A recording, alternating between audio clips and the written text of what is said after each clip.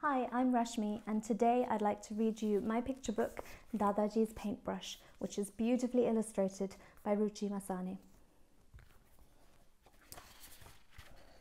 Dadaji's Paintbrush.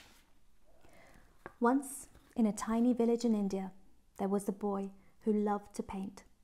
He lived with his grandfather in an old house full of paintings.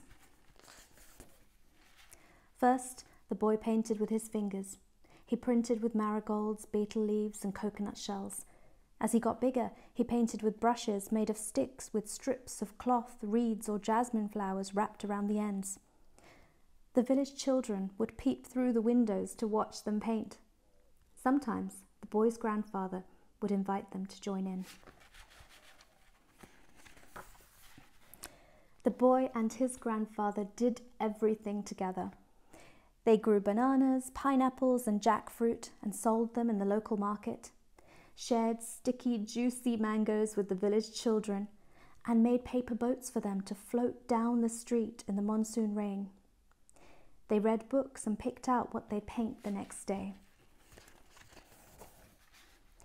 When the rains had gone, every night they lay on their rooftop beds and watched the stars until they fell asleep.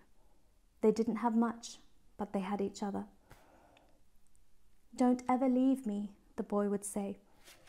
I won't, his grandfather would reply, holding the boy so tight that his bones would hurt. But one day, he did. All that was left of him was the old house full of paintings. The boy stood at his grandfather's desk he noticed a little box wrapped in string with a note that read, From Dadaji, with love. Inside was his grandfather's best paintbrush. At first, the boy didn't touch it. He couldn't. He wouldn't.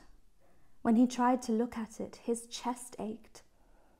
Then, one day, he put it up on a shelf so high he had to get up on his toes to reach it. Days and months passed by. Seasons changed. The boy forgot all about the box. At least, he tried to. Mangoes didn't taste the same anymore. At night, the stars didn't sparkle the way they used to. And when the rains arrived again, there was no one to make paper boats with. The village children didn't visit anymore.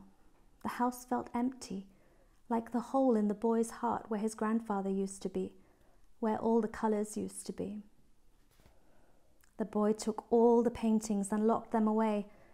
In time, the paints dried up, and the box and the paintings gathered dust. Then, one day, a small girl turned up at the boy's door. She held a stick with reeds wrapped around the end. Please teach me how to paint, she said, like your Dadaji taught my mummy. The boy shook his head, but the girl wouldn't leave. Oh, please, she said. So he mixed up some paints and found her a fresh sheet of paper. The girl plunged her brush into the paints and dotted the page with bright blue and green splodges. Then she stopped and frowned. It's no good, she said. This was a bad idea. I can't do it. She was about to give up when the boy said, Wait, there was always a way. He looked closely at the page. Then he remembered. Then he smiled. The boy unlocked the door at the back of the house and showed the girl his grandfather's paintings.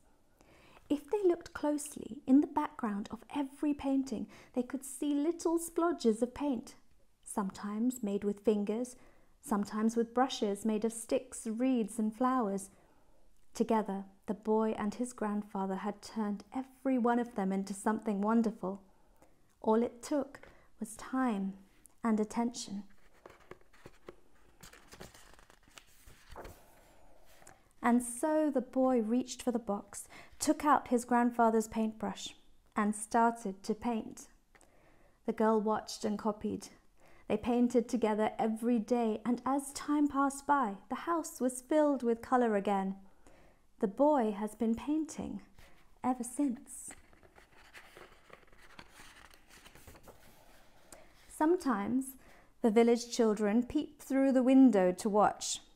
Sometimes they paint, they laugh, and the boy makes paper boats for them to float away down the street in the monsoon rain. He knows in his heart that his grandfather will always be with him. The end.